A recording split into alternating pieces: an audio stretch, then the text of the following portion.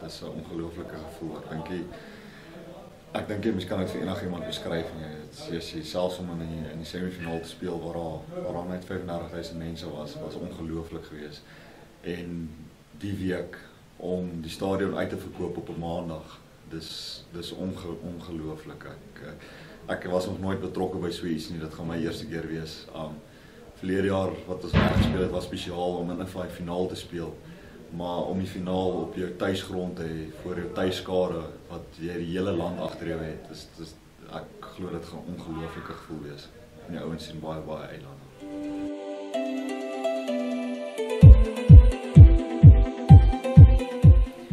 kan jy verseker vandat ons uh, 2013 teruggekom het aan die Super Rugby het uh, coach Akkies begin met dinge en die hele bestuur het sê um, dis die Here wat ons gedra het tot waar ons tot niks was nie tot ons terug in Super Rugby was waar ons vandag of die naweek 'n uh, home finaal speel.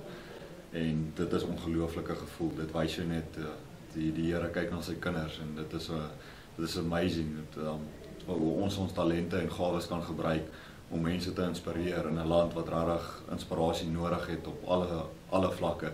En waar ons weet sport bring soveel soveel mense bymekaar en en dit kan soveel beteken vir 'n land en dit ons kon net nie 'n ander rede vind om so vir die audience of one te speel wat ons hot is nie en, en om nasies te inspireer met met hoe ons speel met passie en vir mekaar en met broederskap. Ek dink nie daar's een enkele mens daar buite wat uh, nie die broederskap in in in die leeuspan kan sien nie.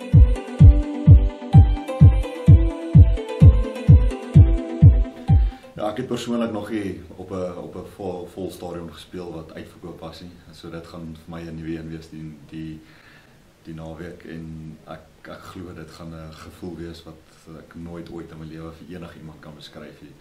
Um net om by Ellis Park of Emirates Island Park uh van self te speel is al klaar 'n ongelooflike gevoel.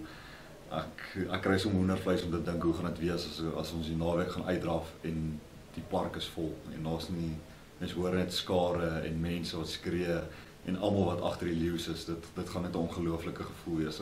Jesus, ek sien baie uit.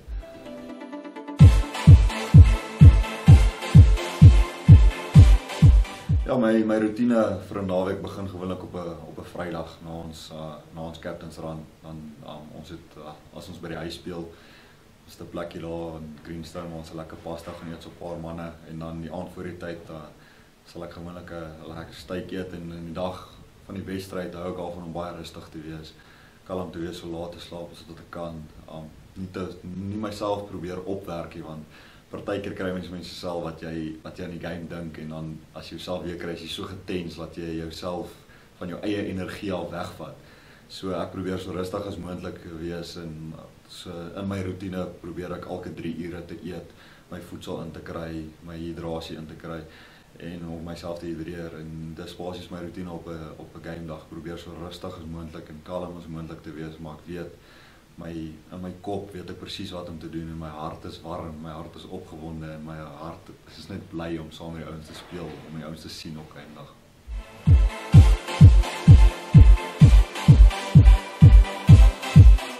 Ja, die die die die rede agter dit is um my pa is eh, my pa het verlede verlede jaar as hy gediagnoseer met 'n vorm van MND en hy's regtig 'n aktiewe mens en hy hou daarvan om sport te doen. Hy's baie hy 10 komritse gehardloop. Hy het al die midmar geswem, hy het drie kampe gedoen. So hy's regtig 'n mens wat soos lief is om aktief te wees.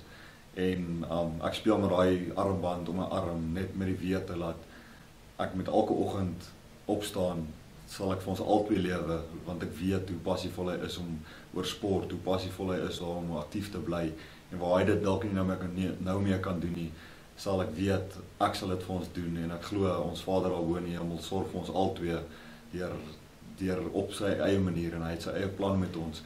So ja, hy het 'n baie baie groot rol in in my rugby loopbaan van hy sal nooit in sy lewe opgee nie en hy sal altyd aanhou fight en dis regtig uh, die tipe rolmodel wat jy in jou lewe wil hê.